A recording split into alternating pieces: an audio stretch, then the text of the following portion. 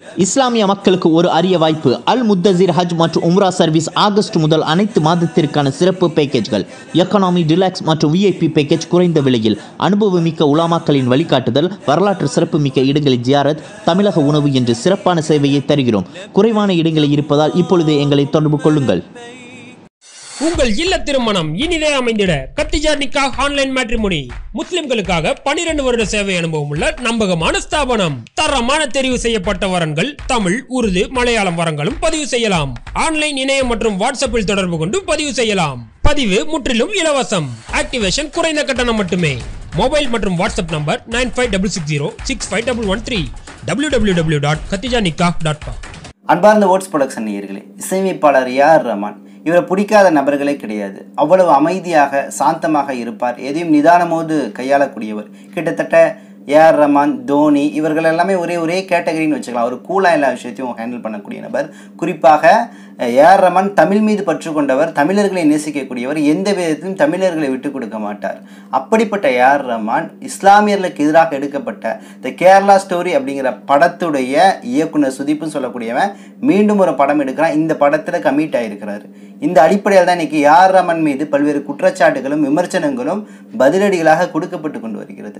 அப்படி என்ன சம்பவம் நடந்திருக்குன்னா இந்த கேரளா ஸ்டோரின்னு சொல்லக்கூடிய படம் உங்களுக்கு தெரியும். போன மாதம் ரிலீஸ் ஆச்சு. இந்தியா முழுக்க அது ரிலீஸ் ஆச்சு. ஒரு பேன் இந்தியா படமாக வெளியாச்சு. இந்த படம் வேண்டுமென்றே இஸ்லாமியர்களை அப்புறப்படுத்த வேண்டும் அவர்கள் மீது வெறுப்பை உமிழ வேண்டும் என்ற அடிப்படையில் பொய்யான எந்த தரவுகளும் இல்லாமல் எடுக்கப்பட்ட படம். இஸ்லாமியர்கள் எல்லாமே ஹிந்து பெண்களை மதம் மாற்றி ஐஎஸ்ஐஎஸ்ல ஜாயின் பண்ணுறாங்க அப்படிங்கிறதா இந்த படத்துடைய கரு கருவாக இருக்குது ஸோ இந்த கருவை கொண்டு போய் எல்லா மக்களையும் சேர்க்கக்கூடிய சமயத்தில் அவர்கள் முஸ்லீம்களிலிருந்து வெறுப்புத்தன்மையோடு விலகி இருப்பாங்க. முஸ்லீம்களை பார்த்து அச்சப்படுவாங்க. அவர்களை தனிமைப்படுத்துவாங்க என்ற அடிப்படையில் இந்த படம் எடுக்கப்பட்டுச்சு. இது எல்லாத்துக்கும் தெரியும். இந்த படத்திற்கு பின்னாடி பிஜேபி ஆர்எஸ்எஸ் இருக்குது அப்படிங்கிறது நூறு சதவீதம் உண்மை. காரணம் இந்த படம் இந்தியா முழுக்க ஓடலை. ஆனால் உலகம் முழுக்க இரநூத்தி ஐம்பது கோடி ரூபா வசூல் பண்ணியிருக்கு அப்படின்னு சொல்லிட்டு இந்த இயக்குனர் சுதீப் சொல்கிறான் அப்போ எங்கிருந்து இந்த வசூல் செய்யப்பட்டது? பாஜக பணத்தை வாரி இறைக்குது. இஸ்லாமியர்களுக்கு எதிராக நீ பல படங்களை ஏடு அவதூறுகளை கக்கு. ஏன்னா இன்னும் ஒரு வருஷம் தான் எலெக்ஷன் இருக்குது அப்படிங்கிற அடிப்படையில் இஸ்லாமிய வெறுப்பு சார்ந்த பல்வேறு படங்கள் இனியும் வரும் இனி வந்து கொண்டு தான் இருக்கும். தேர்தல் நடைபெறும் வரை அந்த பிரச்சாரம் என்பது தொடர்ந்து படத்தின் வாயிலாக கொடுக்கப்படும்.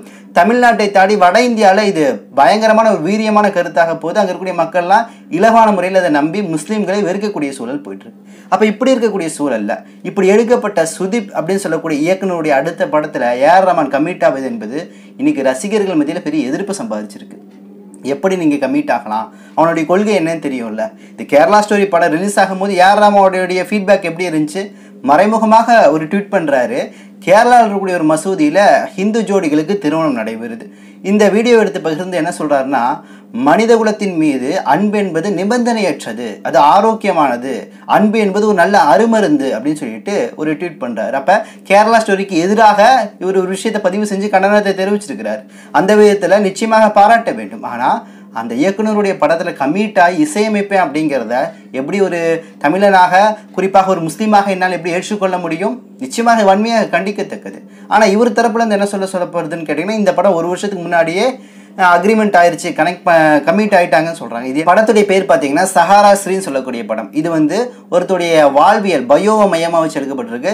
சஹாரா இந்தியா பரிவார் நிறுவனம் சொல்லக்கூடிய நிறுவனத்துடைய தலைவராக இருக்கக்கூடிய சுப்ரதா ராய் அப்படின்னு சொல்லக்கூடியவருடைய வாழ்வியல் சார்ந்த படம். அவர் எப்படி வாழ்ந்தார் எப்படி சாதிச்சார் இந்த நிறுவனத்தை கொண்டு போனார் அப்படிங்கிற அடிப்படையில் இந்த படம் உருவாக்கப்பட்டிருக்கு. அப்போ இந்த படத்துடைய கதை களத்தை முழுமையாக இந்த சுதிப்புன்னு சொல்லக்கூடிய இந்த சங்கி இயக்குனர் எடுக்கிறான். ஆனால் இந்த படத்தில் போய் ஏஆர் ரஹ்மான் கமிட் ஆகிருக்கிறது அப்படிங்கிறது நிச்சயமாக உள்ளளவு ஏற்கவே முடியாத ஒரு விஷயம். ஏன்னா எவ்வளோ படங்கள் உங்களுக்கு வாய்ப்புகள் இருக்குது ஹாலிவுட் படங்கள் இருக்குது பாலிவுட் படங்கள் இருக்குது சொல்லி பல படங்கள் ஏறமனுக்கு வாய்ப்புகள் இருக்குது அந்த படங்கள்லாம் எடுத்துகிட்டு போகலாம்ல உங்களுக்கு தொழிலில் காசு தான் முக்கியம்னா ஏன் இந்த படத்தை நீங்கள் எடுக்கிறீங்கன்னு சொல்லக்கூடிய கேள்விகள் தான் நீங்கள் ரசிகர்களை எழுப்பி கொண்டிருக்கிறான்.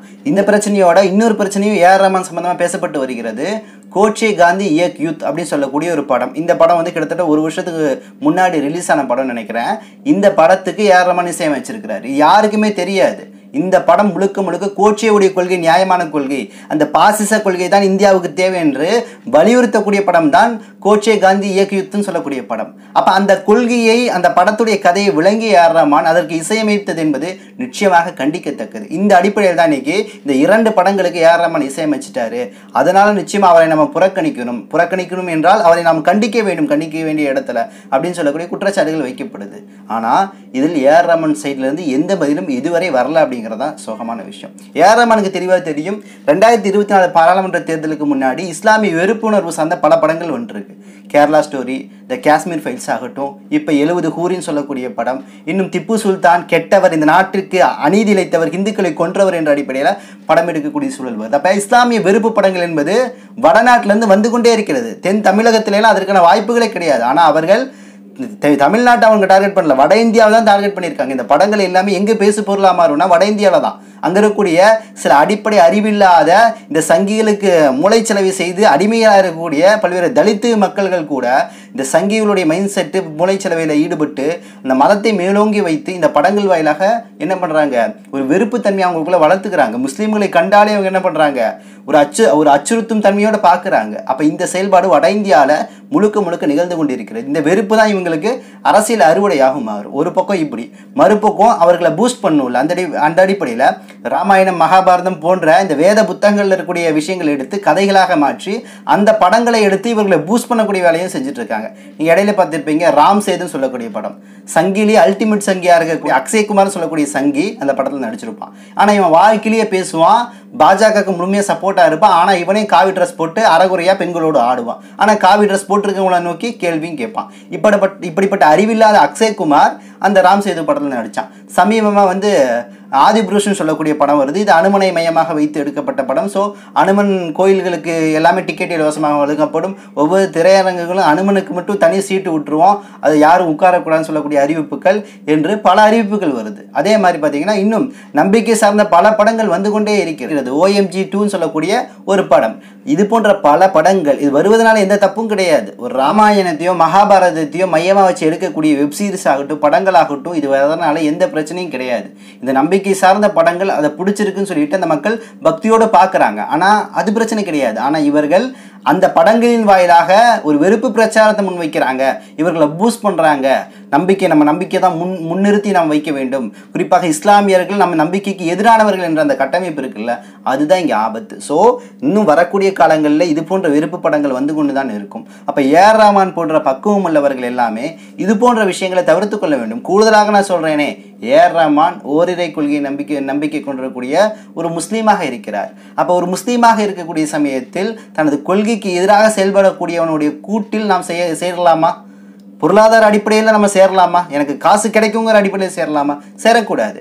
ஒருவேளை நீங்கள் முன்னாடியே கம்மிட் ஆயிருந்தால் கூட இப்போ உங்களுடைய ஒப்பந்தத்தை உடைங்கன்னு நான் சொல்கிறேன் ஏமா ஏறாமன்ட்ட நான் ஓப்பனாக கேட்குறது உங்களுடைய ஒப்பந்தத்தை உடையுங்கள். தேவையே கிடையாது. இந்த சுதீப் சிங் அயோக்கியன். இவனுடைய ஒப்பந்தத்தின் மூலம் நீங்கள் சம்பாதிக்கக்கூடிய சா கா- காசுகள் எல்லாமே கிட்டத்தட்ட ஹராம் அப்படின்னு சொல்லக்கூடிய அளவில் தான் இருக்குது அப்போ உங்களுடைய தொழிலை உங்களுடைய திறமையை காட்ட வேண்டிய செயல்படுத்த வேண்டிய இடங்கள் பல இருக்குது அப்போ இவனுடைய படத்திலிருந்து விளங்க வேண்டும் என்பது தான் நமது தாழ்மையான வேண்டுகோளாக இருக்குது நிச்சயமாக ஏஆர் ரஹ்மான் சகோதரர் பண்புள்ளவர் இரையச்சம் கொண்டவர் நிச்சயமாக அதை செய்வார் என்று எதிர்பார்க்கின்றேன். அடுத்த செய்தி ஒரு போலியான செய்தியை பற்றி இங்கே பார்ப்போம். தமிழ்நாட்டில் ஒரு பெரிய பிரச்சனையை உண்டு பண்ணுறாங்க இந்த சங்கிங்க. என்னன்னா ஒரு ஹிந்து ஒரு வீடியோ கிளிப் போடுறாங்க. அதில் ஒரு பெரிய பெரிய பள்ளிவாசல் இருக்குது. அது தமிழ்நாட்டில் இருக்க பள்ளியாமா. அந்த பள்ளியில் இருக்கக்கூடிய உண்டியல்கள் எல்லாமே உடைக்கப்பட்டு பணங்கள்லாம் முஸ்லீமே எடுத்துக்கிறாங்க அப்படிங்கிற அந்த வீடியோ காட்சி. அதில் பதிவாளர் போடுறாரு சங்கி பதிவாளர். பார்த்தீங்களா தமிழ்நாட்டில் இருக்கக்கூடிய பள்ளிகள் இருக்கக்கூடிய உண்டியல்கள் உடைக்கப்பட்டு முஸ்லீம்கள்லாம் காசு எடுத்துக்குவாங்க. ஆனால் ஹிந்து கோயிலில் இருக்கக்கூடிய உண்டியல்கள் எல்லாம் உடைக்கப்பட்டு அது அரசு பணம் எடுத்துக்கும். என்ன பெரிய அயோக்கியத்தனம்? இதான் நாடு இதான் நீதி அப்படின்னு சொல்லிட்டு கண்டபடி போட்டிருக்கிறான். ஆனால் இதோடைய உண்மைத்தன்மையை நம்ம ஃபேக்ட் செக் செய்யக்கூடிய சமயத்தில் யூட்டன் அயன் கார்த்திகேயன் இதற்கான உண்மையை கொண்டு வந்திருக்கிறார். இந்த வீடியோ காட்சி பங்களாதேஷில் எடுக்கப்பட்ட ஒரு பள்ளியில் எடுக்கப்பட்ட ஒரு காட்சி. அந்த பள்ளியுடைய நிர்வாகி அப் அபுல் கலாம் ஆசாத்னு சொல்லக்கூடிய முன்னிலையில் இந்த உண்டியல்கள் உடைக்கப்பட்டிருக்கு. கிட்டத்தட்ட ஏழு உண்டியல்கள் உடைக்கப்பட்டு பணங்கள்லாம் எண்ணப்படுது. இந்த பணங்கள் எல்லாமே பல்வேறு உதவி திட்டங்களுக்கு நாங்கள் பயன்படுத்துவோம்னு சொல்லிட்டு அவர் சொல்கிறாரு மேலும் எங்களுடைய பள்ளி வளாகத்தில் ஒரு மிகப்பெரிய இஸ்லாமிய அருங்காட்சியகம் மற்றும் இஸ்லாமிய ஆராய்ச்சி கூடத்தை நாங்கள் உருவாக்கணுங்கிறத எங்களுடைய கனவாக இருக்குது அதனால் அந்த பெரிய கட்டிடத்தை இதுக்காக நாங்கள் செலவு செய்வோம்னு சொல்லிட்டு அந்த அபுல் கலாம் ஆசாத்னு சொல்லக்கூடியவர் இந்த பதிவை செஞ்சுருக்கிறார். அப்போ உண்மை இப்படி இருக்க? இந்த பள்ளி தமிழ்நாட்டில் இருந்ததாகவும் தமிழ்நாட்டில் இருக்கக்கூடிய பள்ளி பள்ளியிலிருந்து வசூல் செய்யக்கூடிய அந்த உண்டியல் உடைக்கக்கூடிய பணம் படங்கள் முஸ்லீம்கள் எடுத்துக்கிறாங்க.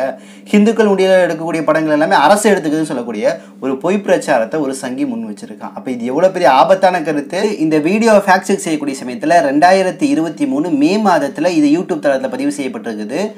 கிஷோர்கஞ்சுன்னு சொல்லக்கூடிய பங்களாதேஷில் இருக்கக்கூடிய ஒரு இடத்துலேருந்து இந்த வீடியோ பதிவு செய்யப்பட்டிருக்கு. அப்போ இதே பொய்யாக பரப்பிய பாஜகவுடைய நிர்வாகி செல்வம் சொல்லக்கூடியவர் காஞ்சி மாவட்டத்தை சார்ந்தவர் இன்னைக்கு அவர் மேலே வழக்கு போடப்பட்டு புழல் சிறையில் அடைக்கப்பட்டிருக்கிறான்னு சொல்லக்கூடிய செய்தி வந்திருக்குது. அப்போ நிச்சயமாக தமிழக அரசை பாராட்டி தர வேண்டும். இது போன்ற வெறுப்பு பிரச்சாரத்தை முன்வைத்து கலவரத்தை ஏற்படுத்தி இந்து முஸ்லீம்கள் மத்தியில் வந்து மிகப்பெரிய ஒரு பகையை உண்டு பண்ணக்கூடிய நினைக்கக்கூடிய இது போன்ற செல்வம் சொல்லக்கூடிய இந்த அயோக்கிய சங்கிகளை கைது செய்தது உள்ளளவு மகிழ்ச்சி பாராட்டுக்கள். இதை தமிழக அரசு தொடர்ந்து செய்ய வேண்டும் என்பது நமது கோரிக்கையா இருக்கு. இறுதியான ஒரு செய்தி பார்ப்போம். அமெரிக்காவை குறித்த செய்தி. டொனால்டு ட்ரம்ப் உங்களுக்கு தெரியும். ட்ரம்ப்பும் நம்ம மோடி அவர்களும் பெரிய பங்காளிங்க. சந்திச்சாங்கன்னா அவ்வளோ மகிழ்ச்சியாக சந்திச்சுக்குவாங்க. ஏன்னா எல்லாமே ஒரு பாசிச மைண்ட் செட்டில் செயல்படக்கூடியவர்கள். சமீபமாக இந்த ட்ரம்ப் ஒரு பெரிய விஷயத்தை சிக்கியிருக்கிறார். என்னன்னு கேட்டிங்கன்னா கிட்டத்தட்ட இருபதுலேருந்து முப்பதுக்கு மேற்பட்ட ஆவணங்கள் எல்லாமே இவர் வீட்டில் பதுக்கி வச்சுருந்துருக்காருன்னு சொல்லக்கூடிய குற்றச்சாட்டு. இவர் வீட்டை ஆய்வு செய்யக்கூடிய சமயத்தில் இவருடைய குளியலறை மற்றும் ஹாலில் பார்த்தீங்கன்னா நூறுக்கு அதிகமான ஆவணங்கள் எல்லாமே எப்படிப்பட்ட ஆவணங்கள் கேட்டிங்கன்னா குறிப்பாக இராணுவ ரகசியங்கள் அணு உலை சார்ந்த பிரச்சனைகள் என்று பல ஒரு அரசினால் என்னென்ன விஷயங்கள் பாதுகாக்கப்பட்டு வெளியே தெரியாமல் இருக்குமோ எல்லா ஆவணங்களையும் அவர் வீட்டில் வச்சிருக்கிறார். இத்தனைக்கும் ட்ரம்ப் பதவியிலேருந்து இறங்கிட்டார். இப்போ ஜோ பைடன் பதவியில் இருக்கிறார். இப்படி இருக்கக்கூடிய சமயத்தில் இவர் வீடில் ஆய்வு செய்யப்பட்டு இந்த ஆவணங்கள்லாம் எடுக்கப்பட்டிருக்குது. இவர் மேலே ஏழு கிரிமினல் வழக்குகள் போடப்பட்டிருக்குது. கிட்டத்தட்ட ஆறுலேருந்து பத்து படங்கள் இன்றைக்கி வெளியாகிருக்கு இது சம்மந்தமான புகைப்படங்கள் வெளியாயிட்டு இருக்கு ஸோ இவர் மேலே நாளைக்கு மீண்டும் இவர் வந்து ஆஜராக சொல்லியிருக்கிறாங்க இந்த விஷயத்தில். அப்போ இந்த குற்றச்சாட்டு நிரூபிக்கப்பட்டால் ட்ரம்ப்புக்கு கிட்டத்தட்ட நூறு ஆண்டுகள் சிறை தண்டனை விதிக்கப்படலாம் என்ற விஷயம் இன்னைக்கு சோசியல் மீடியாவில் பேசப்பட்டு கொண்டு வருகிறது. ட்ரம்ப் சும்மா விடுவாரா? அவர் ஒரு குற்றச்சாட்டு வைக்கிறாரு. ஜோ பைடனுடைய மாளிகை வீடுகளில் போய் ஆய்வு செய்யுங்க. இதே போன்ற பல்வேறு ஆவணங்களை அவரும் வச்சிருக்கிறாரு. பாதுகாப்பு இல்லாமல் அப்படின்னு சொல்லிட்டு இவர் பதிலுக்கு ஒரு குற்றச்சாட்டு வச்சிருக்கிறாரு. எது எப்படியோ டொனால்ட் ட்ரம்ப்புக்கு ஒருவேளை குற்றம் சாட்டு நிரூபிக்கப்பட்டால் நூறு ஆண்டு சிறை என்பது ஒரு இதுதான் எந்த ஒரு அதிகாரியாகட்டும் அவன் அரசு சார்ந்து இயங்கக்கூடிய சமயத்தில் அதனுடைய ஆவணங்களை கண்ணியத்தோடு பாதுகாப்பாக வைத்திருக்க வேண்டும். ஏன்னா அது ஒரு நாட்டு பாதுகாப்பு குறித்த விஷயமா இருக்கு. அது அவர் ரிட்டு அதாவது பதவியிலேருந்து இறங்கின பின்னாடியும் இந்த ஆவணத்தை பதுக்கி வச்சிருக்கிறதன் மூலம் என்ன நடக்குது? ஏதோ ஒரு நாட்டுக்கு உளவு பார்க்குறாரு. ஏதோ ஒரு நாட்டுக்கு சார்புடைய பல தகவல்களை கொடுக்குறாருங்கிற ஐயம் வருது இல்லை ஸோ இந்த வழக்கில் ட்ரம்ப் நிச்சயமாக குற்றம் சாட்டப்பட்டு அவர் மீது இருக்கக்கூடிய விஷயங்கள் நிரூபிக்கப்பட்டு அவருக்கு தண்டனை வழங்க வேண்டும் என்று கேட்டுக்கொண்டு மீண்டும் ஒரு நிகழ்வு சந்திப்போம். நன்றி. அஸ்லாம் வலைக்கம் வரமத்துல்லாஹி வபரகாத்து